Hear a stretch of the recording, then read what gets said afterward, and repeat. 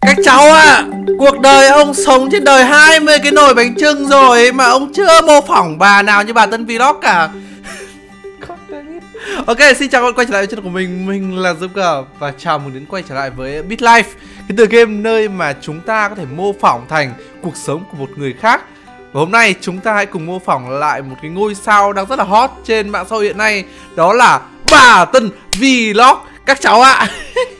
Mình không hiểu là từ bao giờ cái trend nông dân uh, làm youtuber lại hot như thế này. Nhưng mà thôi, tôi cũng tốt thôi.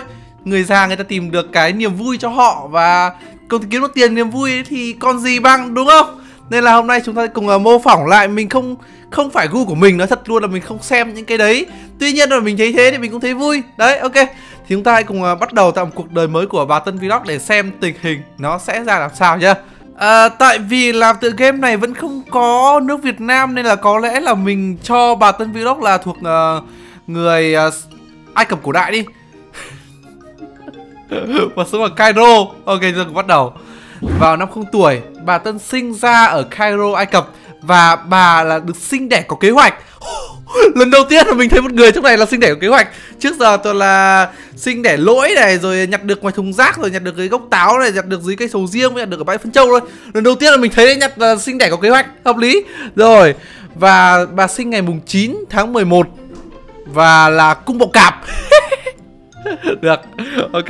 Tên của bà là bà Tân Vlog, Bố của bà tên là Osman Vlog, Là một nhà văn 30 tuổi, Và mẹ của bà là Maria Vlog một người lái xe tải 31 tuổi ái chị dậu hẳn nào. Và nhà bà có một con chó tên là Olive. À, cùng à, xem thông qua cái chỉ số của bà xem bà như thế nào nào. Bà rất là vui vẻ ấy rất là mạnh khỏe hẳn nào là bây giờ là già thế rồi vẫn làm nhiều thứ thế. Thông minh uh, mức độ khá khá. Và ngoại hình marvelous. Bây giờ là mình sẽ xem qua gia phả của mình xem là bố mẹ có nhiều tiền không? À ồ. oh. Bố thì tiền khá nhiều nhưng lại hơi kẹt xỉ. À Nà Mẹ sao? Mẹ sao? À, Cả bố cả mẹ được ngưu tầm mưu má tầm má Cả hai được kẹt xỉ các bạn ạ. Căng nhở Ok bây giờ chúng ta cố gắng à, bám sát tất cả những cái thứ gì có thể Liên quan đến à, bà Tân. Tức là sau này là chúng ta sẽ trở thành à, một vlogger youtuber nổi tiếng Nhưng mà vào cái độ tuổi khoảng là 50 đổ đi thì chúng ta bắt đầu nổi lên. Và nổi lên là làm vlog đúng không? Rồi, còn nhờ cái những năm đầu đời ấy, thì chúng ta sẽ sống mấy cái cuộc đời của người bình thường đó là ăn học ngủ nghỉ ỉa đái như người bình thường thôi. Đang cùng tiếp tục. Oh god dang it. Trong một lần ăn uống không để ý thì bà đã bị nhiễm khuẩn E. coli. Vỡ tiêu chảy rồi. Trời ơi cứ xa đít thì phải kìm làm sao? Bây đi bác sĩ phát. Ok đi bác sĩ. À, khi mà mình còn bé mình đi bác sĩ không tốn tiền. Ok đến uh, bác sĩ mai honana này. Như vậy là bác sĩ à, hainania đã xác định đó là mình bị e. coli. Vậy thì mình sẽ cần phải chữa như thế nào? Có chữa được không đây? Oh yeah chữa được rồi. Oh may qua được bác sĩ havana chữa hợp lý vãi. Oh chữa xong cái sức khỏe 100% luôn. Oh god. Vào uh, năm 4 tuổi bà Tân đã làm vỡ tivi của bà. Bà sẽ làm gì? À, bà sẽ nhận là bà làm vỡ nó hay là bà bảo không không phải bà. Mình nghĩ là bà sẽ nhận là bà làm vỡ nó thôi tại vì là một người nông dân chân chất như vậy thì chắc là sẽ nhận nhở hy vọng thế. Hmm. Ok nhận là làm vỡ nó nó thể hiện sự trung thực. Ồ oh, không. Vào năm 6 tuổi thì con chó Olive đang uống nước từ trong cái cốc của bà. Vậy thì bà sẽ làm gì với con chó này? Yeah, mình nghĩ là nếu là mình thì mình sẽ không làm gì cả. Mình sẽ chửi nó một trận. Sau đó mình sẽ luộc lên. Rồi mình sẽ cho nó vào nồi rồi mình nấu nó ra, cho tụi lạnh ăn dần. Ha sẽ à? là như thế, nhưng mà thôi, có lẽ là mình sẽ dạy bảo nó không làm thế. Đấy ok. Và chắc là nó sẽ cố gắng nghe thôi, mặc dù là không hiệu quả lắm. Cái định mệnh con chó này, con chó này, con chó bất trị các bạn ạ. Nó vừa ăn cái trò chơi thẻ bài của mình, giờ mình cần phải làm gì? Nào, nó ăn như thế, không được rồi. Không tốt cho hệ tiêu hóa của nó, đáng nghĩa là phải ăn cốc à, trà sữa chân châu 6 mít khổng lồ thì mới được. Mình nó mắng nó một trận thì à, ờ không hiệu quả lắm. Thôi kệ nó đi. Ờ, oh no vừa mới mắng nó phát thì ba năm sau nó chết. 12 tuổi thì con chó chết. Tội vậy à no và mình nghĩ là con chó chết rồi thì chúng ta nên uh, cố gắng nhận nuôi một con chó mới nhỉ? Ở à, đây đây đây nuôi con chó mới. Ok. Mình không biết là mình có được mua không? Ok. Oh bây giờ có thêm một cái nữa đó là chúng ta có thể giải cứu được động vật mà bị bỏ rơi. Ho, ho, ho. ok. Ồ oh, mèo ai cập. Ồ oh, nhiều nhiều con đẹp như vậy mà người ta bỏ rơi á em mình nhận nuôi con mèo ai cập đi. Yeah nó ngu, nó không khỏe mạnh lắm, nó hạnh phúc, bình thường và nó hơi điên. Mình không biết nữa, mình nên chọn con gì đấy, nó nó nó ok hơn một tí. Mình nghĩ rồi. Nếu mà ai cũng chọn con mèo khỏe mạnh thì có lẽ là chẳng ai chọn mấy con mèo yếu đuối này, nên là có lẽ là mình cứ nhận con mèo ai cập đi. Ok. God đánh ít, bố mẹ không nhận nuôi.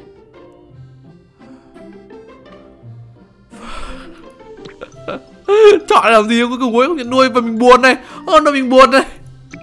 Bố mẹ không nhận nuôi mình trầm cảm rồi. Bố mẹ không cho con nuôi con mèo sắp chết. Con buồn lắm.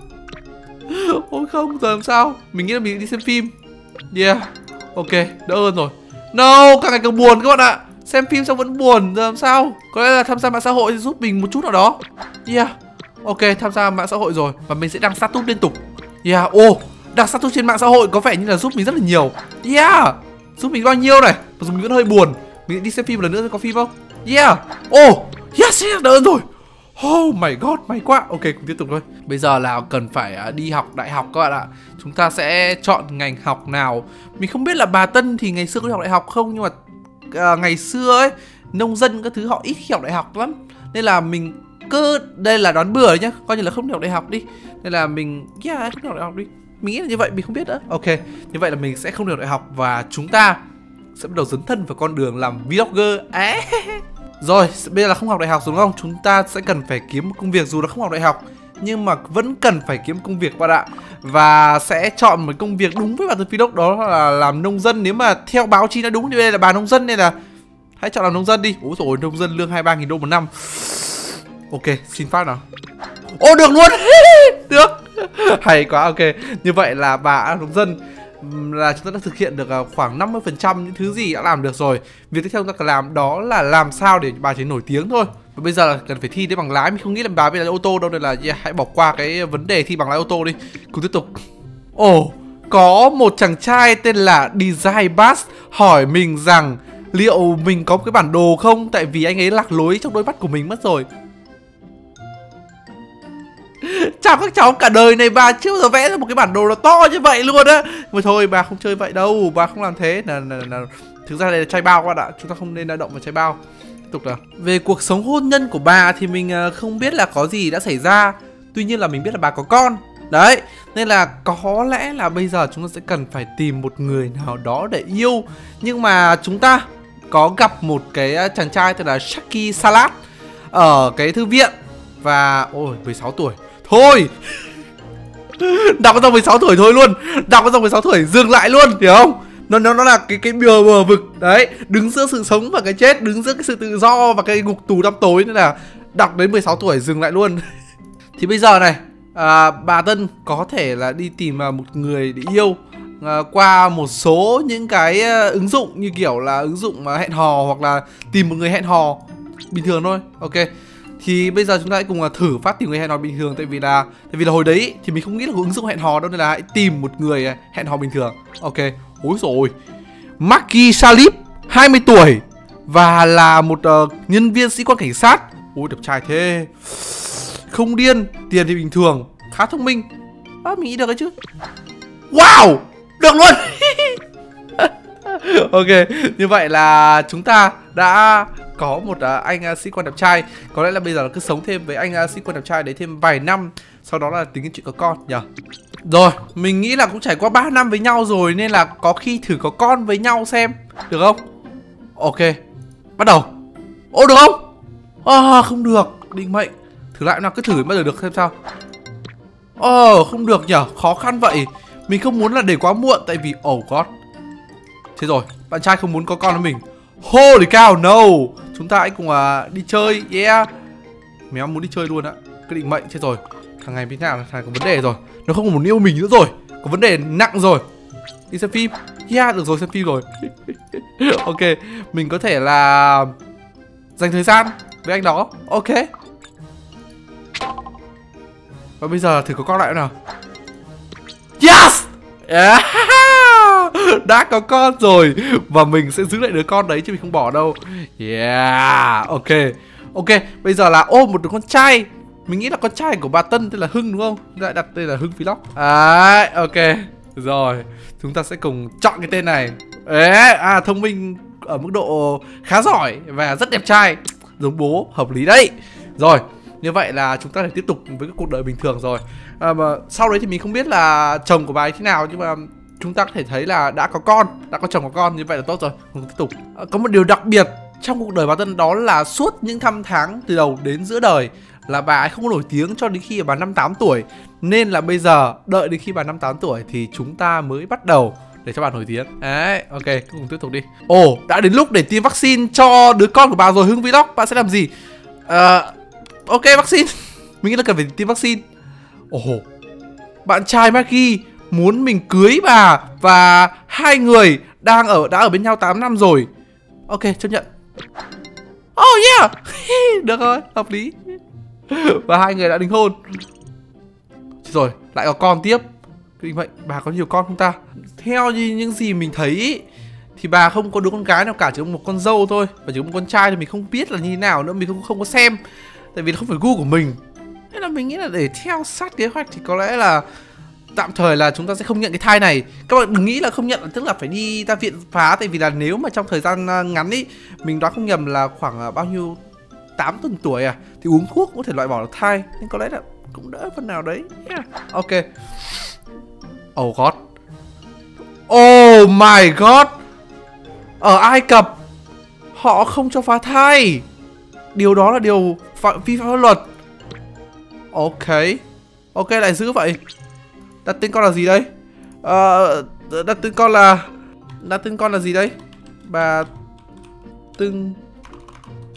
Mình không biết là đặt tên con của bà là gì nữa thôi Đặt tên là Hóng đi. Ai đâu? Ừ, Sao cái tên đấy đặt tên là Hóng?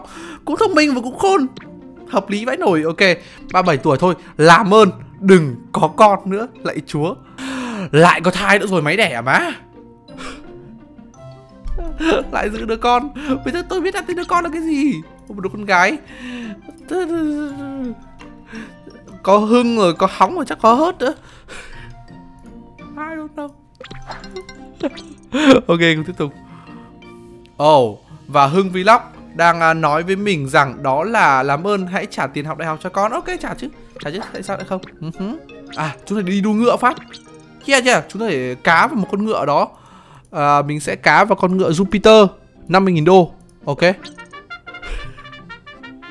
Càng phết. Nào đua đi. Jupiter Jupiter. No no no no no. No Melis đi. Thế rồi Jupiter thua rồi. No no no. Con đã ghi Jupiter thua rồi. Thua chắc rồi. Rồi ạ à, mất tiền rồi. Rồi em xin lỗi anh Em không làm thế nữa. Oh Hóng đi học đại học rồi như vậy là Hưng và Hóng theo đại học và lại đòi mình trả tiền cho. Ok, Là một người phụ nữ Việt Nam hoàn hảo thì mình sẽ trả tiền học đại học cho con. Kiểu vậy, Thường là như vậy. Nước ngoài nó không ai trả thôi, Nhưng mà Việt Nam thật trả thôi. Ok, tiếp tục nào. Oh no. Hóng, Vừa bảo là Hóng có vấn đề về giới tính có thể là gay. Em mình nghĩ là xã hội này nó hiện đại nó bình đẳng rồi chúng ta không nên ý kiến với người gay người les cả nó vẫn là một giới tính mà đúng không? Nó chẳng có gì sai trái cả. Chúng ta sẽ support him đúng không? Đó mình sẽ hỗ trợ mình sẽ ủng hộ con mình mà không có điều kiện gì cả. Đấy con mình đứt ruột đẻ ra mà. Đó. Con rất vui mình cũng rất vui này. Hạnh phúc chưa? Thích thế. Oh my god. Mình uh, Ờ, mình không biết thế nào nữa nhưng mà hưng cũng vừa bảo mình là có thể là con cũng cay. Ok mẹ cũng sẽ ủng hộ con. Mặc dù mẹ không ngờ là hai đứa con trai của mẹ đều gay mẹ bây giờ chỉ có một đứa con gái thôi. Tức là mẹ không có người nối dõi sau này. Nhưng mà ok.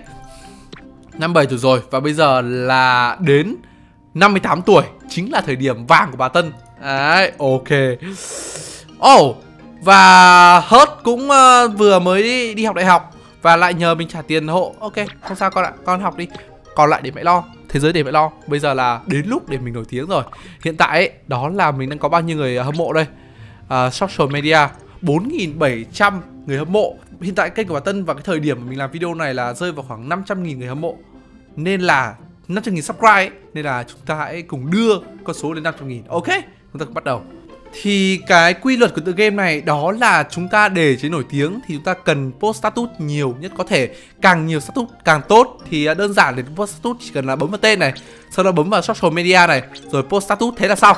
Nhưng mà để làm đi làm lại như vậy mỗi lần làm chúng ta sẽ tăng thêm một à, số lượng người à, hâm mộ theo dõi nhất định. Nhưng mà cứ làm đi làm lại như vậy rất là mệt. Tuy nhiên là mình tìm ra được một lỗ hổng. Chúng ta có thể sử dụng cái phần mềm auto click và cài đặt nó làm sao để nó tự động bấm vào tên tự động bấm vào social media và tự động bấm vào post status. Và việc còn lại mình cần làm đó là chỉ cần khởi động nó một cách nhấn F8 và mình ngồi chơi sơi nước. Video này không được tài trợ bởi C2 Tân Hiệp Pháp. Và thế là xong. Đợi cho đến khi nào lên được ờ, uh, 500 nghìn sắp thì thôi. Hẹn gặp lại các bạn sớm nhé bao nhiêu rồi ta? Ô ô, wow wow wow wow, dừng lại. À há à há, lên rồi 508 nghìn follower rồi. Yes, như vậy là bà Tân Vlog đã trở nên nổi tiếng. Và có lẽ là chúng ta nổi tiếng như này rồi, thì kiếm một công việc gì đấy nó nổi tiếng hơn một tí. Để mình xem một công việc liên quan đến mạng xã hội nhiều hơn. Tại vì là khi nổi tiếng rồi thì người ta sẽ không làm nông dân nữa, mình nghĩ là như vậy. Hay làm công việc gì khác? Để mình nghĩ xem nào em mình không biết nữa chắc là bà làm à, diễn viên thì hợp lý. Tại vì bây giờ thực ra là bà vẫn làm diễn viên mà. Bà đang đứng trước máy quay để bà thực hiện mà đúng không? Có lẽ làm diễn viên hợp lý. Oh god không được. Thế rồi không làm diễn viên làm gì? Chúng ta còn chẳng có việc gì liên quan đến cái đấy nữa. Ok ok chúng ta cùng là thêm vài năm nữa để xem xem là nhiều tiền thực ra là nổi tiếng này đang ép việc làm diễn viên chứ nhở à, chả có việc gì nữa cả. Có lẽ là tại vì là bà hơi già rồi. Chính ra là 60 tuổi rồi Cái độ tuổi này là phải nghỉ hưu rồi ý. Nhờ, có lẽ là đến độ tuổi này thì bà nên nghỉ hưu và chơi với con cháu đi. Hiện tại là bà đang có tầm 2 triệu đô tài khoản tương đương với khoảng 45 tỷ Việt Nam đồng Nên là có lẽ là cũng ờ, không lo lắng về cái việc thiếu tiền trong thời gian dài dài ở đâu. Ok thì có lẽ bây giờ là chúng ta sẽ dừng ở đây đã Tại vì là thế này này. Hiện tại là bà mới có 58 tuổi thôi. Mình đã chơi 60 tuổi Tức là mình đã chạy trước 2 năm bà ấy rồi. Mà mình cũng không biết là cuộc đời sau này của bà ấy sẽ như thế nào. Nên là mình không muốn nó làm cho nó sai lệch cái sự thật Hiểu không? Nên là hiện tại đó là vẫn giữ đúng mục tiêu đó là tầm 58 năm chín tuổi đấy. Có trong tay hiện tại và thời điểm mình quay là 500 hơn 500 nghìn sắp và cứ thế tiếp tục cuộc, cuộc sống sau này và mình nghĩ là sau cái vấn đề này sau cái lần nổi tiếng này bà sẽ không làm nông dân nữa nhưng làm gì thì mình không biết. Có lẽ là làm diễn viên hoặc là vlogger hoặc là youtuber thì mình không biết. Nhưng mà có lẽ là chúng ta tạm dừng đây đã còn hẹn gặp lại ở video lần sau. Chúng ta sẽ cố gắng miêu tả chân thực nhất Những cái công việc cũng như là cái cuộc đời của những người Mà chúng ta đã cho vào cái tựa đề của cái tựa game này. Đó, để uh, có một cái nhìn nó hợp lý nhất thế thôi. Còn bây giờ thì có lẽ tạm biệt các bạn gặp lại mình là Dương MK Nếu có thích đừng quên để lại một like, subscribe mình Và bấm chuông của mình ra những video tiếp theo nhé. Bye bye!